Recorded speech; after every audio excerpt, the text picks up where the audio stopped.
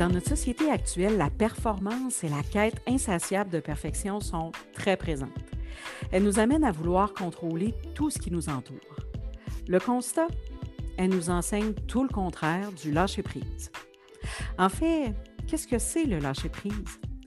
On en parle avec Emmanuelle Pinel, notre nouvelle conseillère en promotion et prévention en santé mentale et la future animatrice de ce balado. Je suis Marie-Josée Delille. Bienvenue dans C'est dans ta tête, le balado de Santé mentale Québec Chaudière-Appalaches qui vise à créer, développer et renforcer la santé mentale. Bonne écoute! C'est dans une toute nouvelle ambiance, vous l'aurez entendu, qu'on accueille à notre micro Emmanuel, notre nouvelle collègue. Bonjour Manu, merci d'être là. Allô, allô? On est vraiment heureuse de t'accueillir dans notre équipe, dans l'organisme. Ta belle expérience du terrain va tellement venir enrichir l'expertise globale de l'équipe. Je pense qu'on va faire une sacrée belle job ensemble dans les prochains mois et les prochaines années. oui, je suis bien d'accord. Laisse-moi, si tu veux, te présenter à nos auditeurs un petit peu plus. Euh, tu possèdes un bac en psychologie, tu as une formation de coach familial, tu comptes plus de dix ans d'expérience en intervention, tu as travaillé avec plein de clientèles différentes, euh, des hommes judiciarisés, euh, des, personnes qui vivent avec des problématiques de santé mentale que tu as accompagnées en intégration socio-professionnelle. Puis tu as aussi fait pendant un bout de temps du soutien aux membres de l'entourage, des personnes qui vivent avec des problématiques de santé mentale pour soutenir les gens, les proches et euh, les épauler pour, pour traverser des moments qui, qui, somme toute, peuvent s'avérer plutôt difficiles. Puis aujourd'hui, ben, on va profiter de ta belle expérience pour parler ensemble de lâcher prise, justement. Et euh, ben, d'emblée, j'ai le goût de te demander, qu'est-ce que c'est, Manu, le lâcher prise? Ben, moi, je vais plutôt te répondre, qu'est-ce que ce n'est pas? ah, ben écoute, vas-y comme tu le sens. oui, mais ça va nous permettre de mieux comprendre ce que c'est. Dans le fond, le lâcher prise, là, ça ne signifie pas d'abandonner, de renoncer ou de se résigner. C'est pas non plus être dans la généralisation ou dans le noir ou blanc, dans, dans l'être, dans le Ah, j'aurais donc dû ou je devrais faire ci, il faudrait faire ça. Tu sais, c'est vraiment euh, tout le contraire de ça. OK, c'est pas un mode passif, le lâcher prise. On ne fait pas juste reculer d'une situation pour abandonner. On se met en action, mais autrement. Exact. As-tu des exemples de situations où ça aurait été salutaire pour quelqu'un de lâcher prise? Ben oui, j'en ai plusieurs. Euh, une qui me vient en tête, c'est par exemple euh, un père euh, avec son fils qui est atteint d'un diagnostic de schizophrénie. Mm-hmm. On s'entend, c'était pas nécessairement ça le plan de match qu'il avait pensé pour, pour lui. Euh, il ne pensait pas avoir à conjuguer avec des symptômes, euh, des symptômes positifs de la maladie de son fils. Là. Mm-hmm. en quelque part, c'est un processus de deuil aussi qu'il a à accomplir. Ce n'est pas nécessairement un deuil relié à la mort, mais ça peut être un deuil justement que ce n'était pas la vie qu'on pensait vivre avec notre proche. Oui, oui, oui. Le deuil d'une vie de famille comme on se l'imaginait en attendant un enfant. là. C'est ça. Mm-hmm. Ou euh, justement, une fille qui essaie de tomber enceinte, on, on le voit quand le couple, puis mettons, il s'essaye, ça ne marche pas, ben, dès que le couple décide d'aller en adoption ou d'aller en fécondation, tiens, la fille tombe enceinte. Fait qu'il y a quelque chose dans le lâcher-prise qui a créé de la place pour que ça se produise, cet événement-là. Oui, puis j'avais déjà lu en quelque part une phrase d'un philosophe sur la loi de l'effort inverse. Quand on essaie de rester à la surface, on coule, mais quand on essaie de couler, c'est là qu'on flotte. quand on lâche ce à quoi on s'accroche avec vigueur, ben, c'est là que ça nous permet de voir de nouvelles options s'offrir à nous. OK. Puis un autre exemple, mettons, euh, une mère qui a peur que sa fille se suicide mais c'est tough, là, de lâcher prise. Ben oui, parce qu'on a euh, peur de perdre notre enfant. Là. La perte, elle serait beaucoup trop importante à vivre. Exact, c'est ça. Fait que, tu sais, le lâcher prise, c'est vraiment d'apprendre à découvrir nos peurs, d'apprivoiser nos pensées par rapport à ça, de s'ouvrir à l'imprévu, de comprendre puis d'accepter qu'on ne peut pas tout contrôler puis que parfois, on peut être vulnérable. Mm-hmm. C'est vraiment un processus d'adaptation, de confiance, euh, d'ouverture, d'acceptation. Oui, il peut y avoir des zones grises, c'est pas juste noir ou blanc. Euh, c'est d'accepter aussi de ressentir des émotions telles qu'on les vit, accueillir le sentiment d'impuissance, d'insatisfaction. Ça, c'est difficile. Oui, puis d'accepter qu'il y a des émotions désagréables puis inconfortables, qu'il n'y a pas juste celles agréables. Oui, parce que nos émotions, elles nous apportent un message. Puis il faut accepter de vivre avec un inconfort, le temps de comprendre c'est quoi ce message-là. Il ne faut pas juste essayer de les engourdir, de les faire taire, de s'en débarrasser le plus vite possible de ces émotions-là. Il faut apprendre à les comprendre aussi. Oui, c'est ça. Puis, tu sais, c'est de le lâcher prise, c'est d'être dans le moment présent. C'est pas mm-hmm. nécessairement être dans ça aurait dû être ainsi ou ça devrait être comme ça. Euh, c'est d'accepter les limites, que ce soit les nôtres ou celles des autres aussi. Euh, accepter le changement. en quelque part, c'est comme un recadrage un peu tout, là. Mm-hmm. Euh, par rapport à toutes nos croyances. Euh, Bouddha, il disait accepte ce qui est, laisse aller ce qui était et aie confiance en ce qui sera. Ah, c'est beau ça. Ça fait penser un peu à la prière de la sérénité aussi. Oui. Euh, donnez-moi la sérénité d'accepter les choses que je ne peux changer, le courage de changer les choses que je peux et la sagesse d'en connaître la différence. Moi, je disais toujours cette phrase-là aux membres d'entourage que je rencontrais. Quand je parlais de lâcher prise, je trouvais que ça faisait pas mal de sens. Parce que c'est ça, lâcher prise, on le disait, c'est pas un mode passif, c'est d'entrer en action, de faire des choix en se respectant. Euh, c'est une façon de, regagner son pouvoir d'agir. Oui, c'est ça. Puis, tu sais, il n'y a pas nécessairement de théorie pour apprendre à se détacher. Mm-hmm. Euh, oui, on peut lire des livres sur le sujet au suivre des formations, mais c'est juste les événements de la vie qui peuvent nous servir à nous pratiquer. Parce que c'est il y a une partie du lâcher-prise qui peut être, oui, cognitive. On le sait dans notre tête qu'il faudrait se détacher, mais ce qui est le plus dur, c'est toute la portion émotive. Et ça, c'est juste en, par essai et erreur hein, qu'on va arriver à, se pratiquer, puis à devenir meilleur, puis à trouver ce qui va fonctionner. C'est ça, exact. C'est quoi les bienfaits de lâcher prise?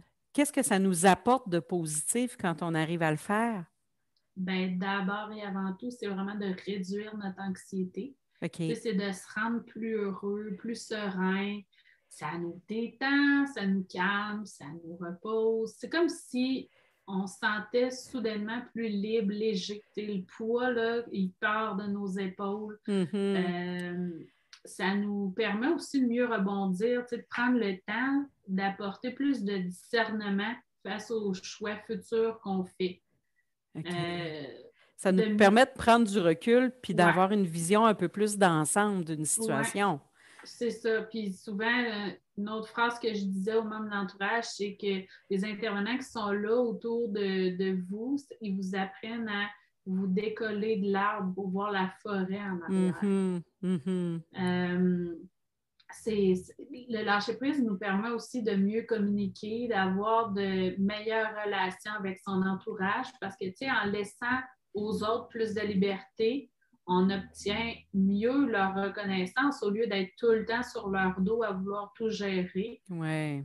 Puis, tu sais, pour nous-mêmes, ça nous apporte une plus grande confiance en soi, puis une plus grande estime de soi-même aussi.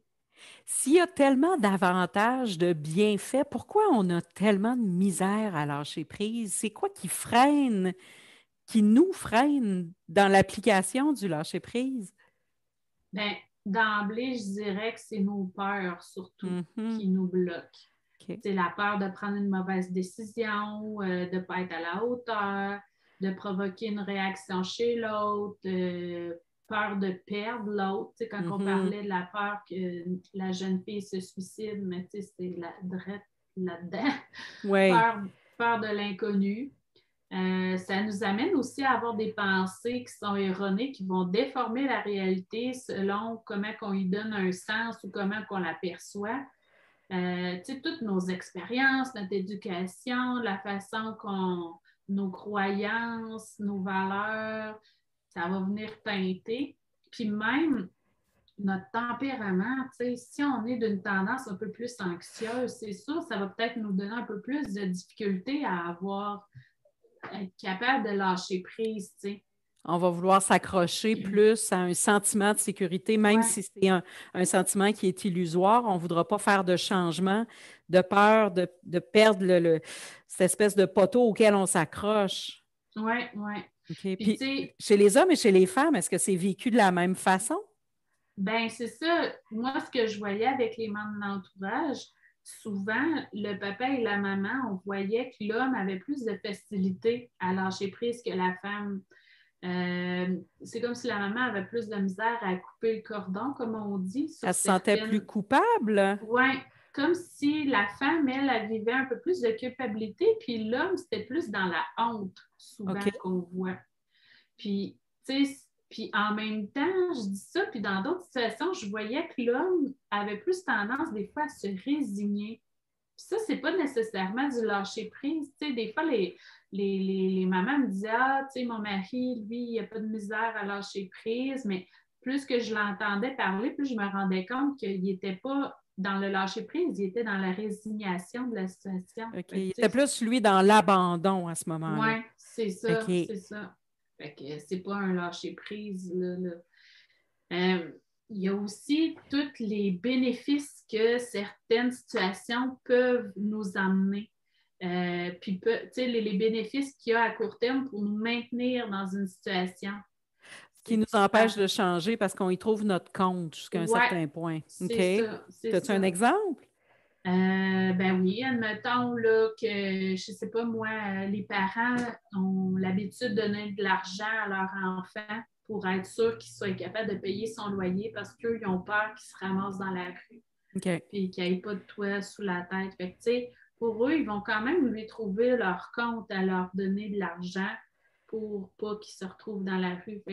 Parce que ça va les rassurer eux autres. C'est ça, c'est ça. OK. Fait qu'ils ne voudront pas vivre avec l'inconfort qu'un certain lâcher-prise peut apporter. Mais en même temps, s'ils coupaient les vivres, ça pourrait amener la personne à se responsabiliser et à trouver des façons d'assumer elle-même le coût de son loyer. Oui, c'est ça. Mais c'est comme si là, il y avait une partie des responsabilités qui ne les incombaient pas, mais qui les prenaient sur leurs épaules. Mais tu sais, dès qu'ils mm-hmm. réalisent que ça leur génère trop de culpabilité, trop d'énergie, puis que ce n'est pas nécessairement des choses qui leur appartiennent, et qu'il vaut mieux peut-être de se concentrer sur leurs propres affaires qui leur appartiennent, ben, c'est là qu'on peut commencer peut-être à, établir un certain lâcher-prise par, euh, rapport à la situation. Mm-hmm. Puis, euh, ce que je remarquais aussi, c'est qu'on a souvent été euh, habitués à mal se parler. sais sans nécessairement s'en rendre compte. On, on, adopte des rôles dans nos conversations interpersonnelles qui font en sorte qu'on euh, est en réaction face à l'autre. Mais quand on réussit à prendre un certain recul, c'est là qu'on vient déjouer ces jeux relationnels-là pour peut-être mieux se parler, justement. Ouvrir la porte à une communication qui soit plus positive, plus égalitaire, qui va apporter des fruits euh, beaucoup plus que si on reste dans des rôles euh, de, maternage ou dans différents rôles de, communication dans lesquels on se campe. Oui, ou soit c'est dans un rôle euh, plus de victime ou de mm-hmm. sauveur ou de persécuteur. Euh, oui, oui, oui, oui. C'est ça. Concrètement, au quotidien, là, comment on fait pour apprendre tranquillement à lâcher prise? As-tu des, des trucs vraiment concrets? Oui, ben il y a effectivement des moyens pour arriver à lâcher prise et faire plus confiance à la vie. C'est d'arrêter de se dire euh, genre dépêche-toi ou prendre vraiment le temps de s'étirer, de se détendre, d'aller marcher, écouter de la musique. Euh, de, de, vraiment, là, quand on se lève, là, prendre le temps de sentir puis de goûter son café, de sentir le soleil se réchauffer, notre peau. Puis une technique aussi qu'on voit euh, par rapport à l'anxiété, c'est de prendre le temps de s'asseoir sur la chaise, là, puis se mettre les deux pieds là, à plat sur le sol pour se grounder, comme on dit. Là, oui, oui, oui. Pour vraiment se, se centrer puis de se sentir là, assis sur sa chaise pour se ramener au moment présent, arrêter d'être dans notre tête avec l'hamster qui spinne. Oui, arrêter euh, de, de, ressasser tout ce qu'on aurait dû faire ou tout ce qu'on devrait faire ou tout ce qu'on devra faire, mais être mm-hmm. ici et maintenant pendant un petit moment. Oui, puis il, existe aussi des techniques de respiration, des mm-hmm. techniques de cohérence cardiaque euh, fait que ça, c'est des petits trucs là, euh, au quotidien qui peuvent être quand même assez intéressants. Euh, sinon, pour quelqu'un qui veut aller pousser plus loin, c'est sûr qu'il y a d'aller découvrir tous les besoins qui se cachent derrière nos peurs. Mm-hmm. Nelson Mandela disait que vos choix reflètent vos espoirs et non vos peurs. Oui c'est vraiment de transformer la peur en désir, de voir l'intention positive derrière un comportement. OK. exemple, là, bon, j'ai peur de manquer quelque chose, mais le désir derrière, c'est vraiment de vivre chaque instant de ma vie la façon la plus intense, puis même la plus vivante et joyeuse possible. OK, c'est de changer notre vision d'une situation. Donc, au lieu de penser j'ai peur d'être rejeté, c'est de transformer ça en disant j'ai envie, j'ai le désir d'être en lien avec quelqu'un, de développer des relations positives et bienveillantes. C'est ça? Oui, c'est ça. Puis, tu sais, mettons, euh, j'ai peur d'être en conflit. Mais dans le fond, le désir derrière, c'est d'être, d'avoir, c'est-à-dire des liens apaisés. Ou être mm-hmm. en relation, c'est plus important que de savoir qui a raison. Oui. Ou, tu sais, je ramène un exemple encore plus, euh, encore plus simple de moi avec ma vie de jeune maman. le grand frère qui vient taper le petit frère pendant que je suis en train de préparer à souper. Ben, lui, là, son besoin là, en arrière du mauvais comportement qu'il a eu, c'était le besoin d'attention. On ne s'est pas vu de la journée. Il a juste besoin que je me concentre sur eux et que je leur accorde un petit moment d'attention tout simple. C'est ça. Donc, c'était pas la tape derrière la tête du petit frère. C'était pas un geste contre le petit frère. C'était un geste qui disait Maman, j'ai besoin d'entrer en relation avec toi. Oui, c'est ça. Quant à la façon qu'il aura choisi de le faire, ça, vous pourrez en discuter ensemble éventuellement. Mais c'est vrai que de reconnaître le besoin qui se cache derrière l'intention, derrière le comportement, puis de le voir de façon plus positive, c'est vrai que ça change notre perspective, notre vision d'une situation. Oui, c'est ça. Puis, tu sais, c'est vraiment de distinguer aussi qu'on peut contrôler ce qu'on peut contrôler et influencer versus ce qu'on ne peut pas. Mm-hmm. C'est déléguer les responsabilités à ceux et celles à qui elles reviennent au lieu de tout se mettre sur nos épaules. la charge mentale, c'est de pouvoir en faire le tri par rapport à ça. Puis redonner, c'est ça, euh, aux, gens qui nous entourent, ce qui leur appartient de régler, leurs responsabilités à eux, puis nous, se contrôler sur nos choses, ce que nous, on peut contrôler, ce qui nous appartient. Oui.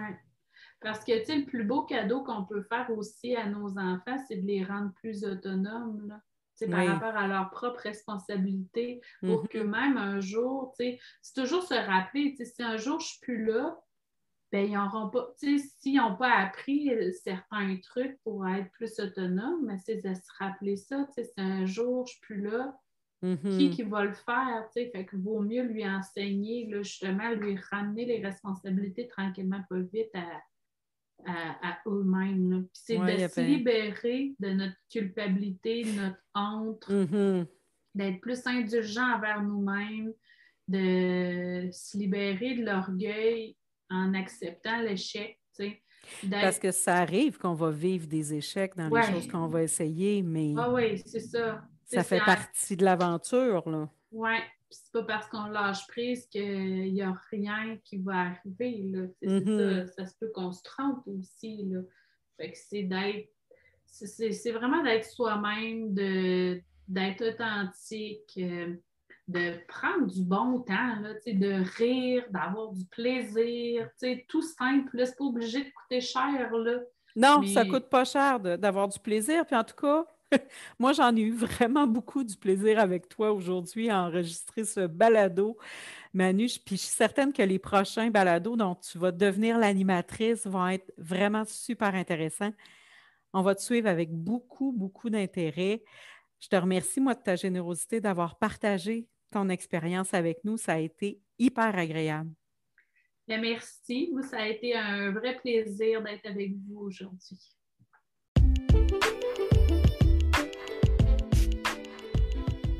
Vous écoutiez C'est dans ta tête, le balado de Santé mentale Québec Chaudière-Appalaches qui vise à créer, développer et renforcer la santé mentale. Si vous souhaitez découvrir d'autres moyens de prendre soin de vous, nous vous invitons à visiter notre site internet au santémentalca.com. À bientôt!